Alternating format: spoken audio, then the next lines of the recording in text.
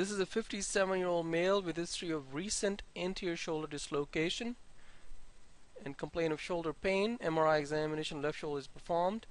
There is complete tear of the distal subscapularis tendon. The tendon is retracted medially to the level of the glenoid rim. The retracted tendon is thickened there is fraying of the articular surface of the distal supraspinatus tendon.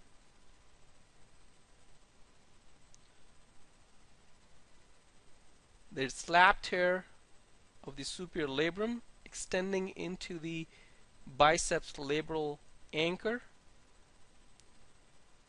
There's focal degeneration of the anterior labrum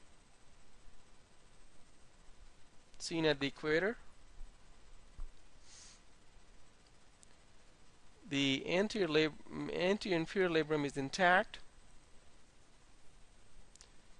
There is humeral avulsion of the anterior band of the inferior glenohumeral ligament.